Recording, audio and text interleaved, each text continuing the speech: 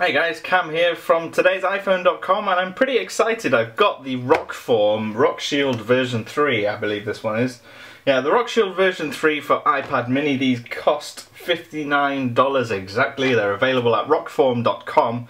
And if you've been watching this channel for a while, you'll know I've had a few of their accessories and I've been generally quite impressed. Not just by their protective qualities, but also because they've come up with some fairly innovative ways to build in stands and to mount your iPad onto things like fridges or have it on your bedstand. Now, as with all RokForm cases, you see, let's just get this out of the box here. You'll see that it comes with this, um, this dock in the back. This is essentially something that you'll find on all their cases and it will attach to a variety of different attachments.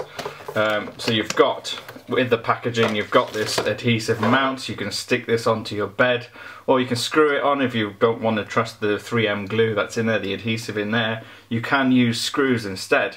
Um, so that will then clip into here and if you have that on your bedside or if you have it on a wall somewhere as a wall mount you can have your iPad on there at any time and also with this version they've actually come with a really nifty kickstand which uses the same mechanism to lock into the case. So you will lock your iPad in either horizontal or vertical mode and you simply get your kickstand out and you've got that at an angle like so. But let's take that off for a second. We'll get the iPad mini in once we have had a look at what else is inside here.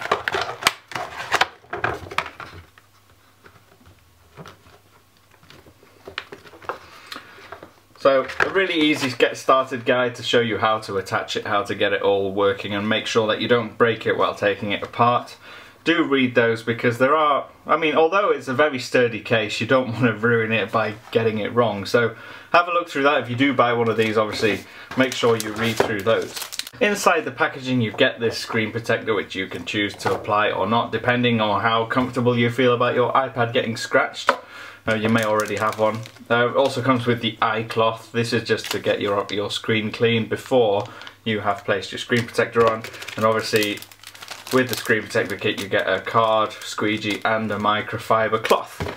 Um, now the case itself is essentially made up of a few different parts. Now on the outside we have this protective bumper uh, which you can remove. It's quite a stiff material. It's not um, the soft silicone type that you may find on, on less protective cases and they come in a variety of colours. I believe the case comes in about seven different varieties. You've got black plus uh, gunmetal, blue, red.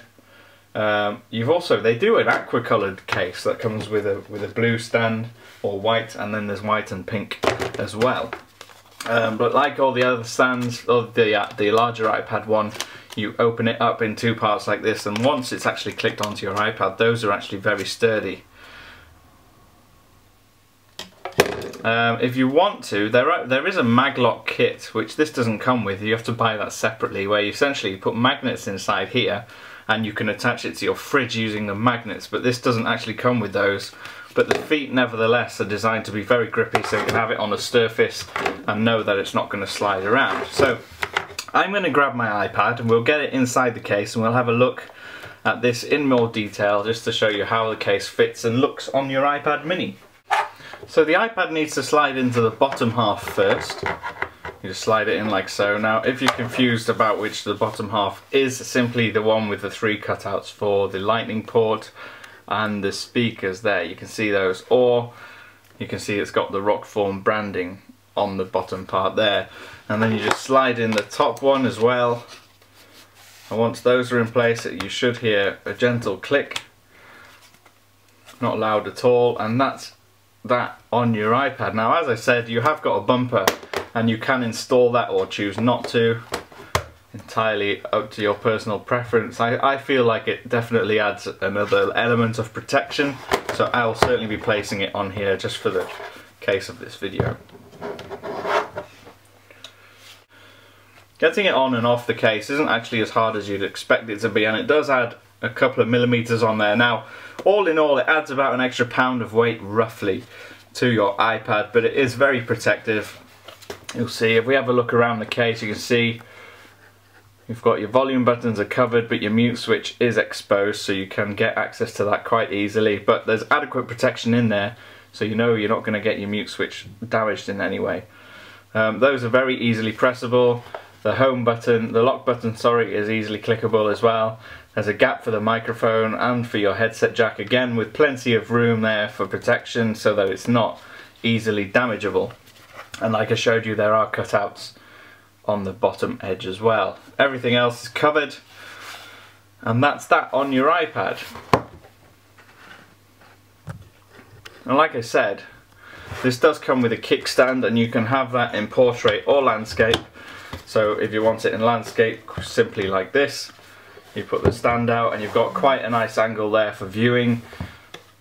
It does actually, I believe it's more than one angle that it does.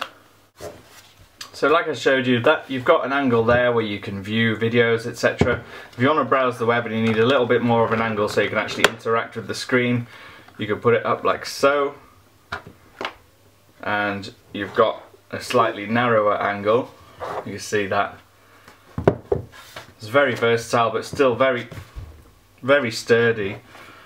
Um, and obviously you've got the same you can have you can have a typing angle like so by folding it a different way. And again those angles are the same if you've got it in portrait mode as well.